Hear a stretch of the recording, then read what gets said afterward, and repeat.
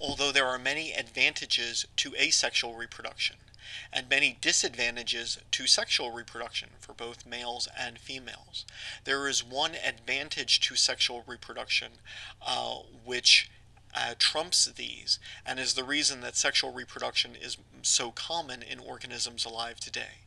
It is that sexual reproduction produces an incredible variety in the offspring.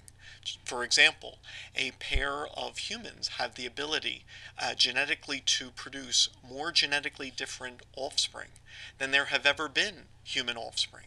So, uh, sexual reproduction provides an incredible uh, capacity for diversity in the offspring.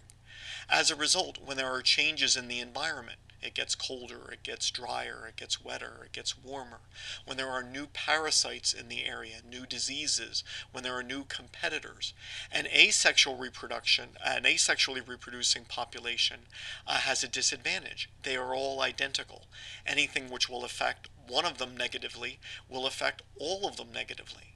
In contrast, in sexually reproducing organisms, populations are quite diverse, and there are uh, adaptations which can arise in some individuals which allow them to survive this new environmental change. So while asexual reproduction may have advantages in the short term, sexual reproduction has such a strong advantage for long term survival in producing diverse uh, offspring that sexual reproduction is common in eukaryotes today.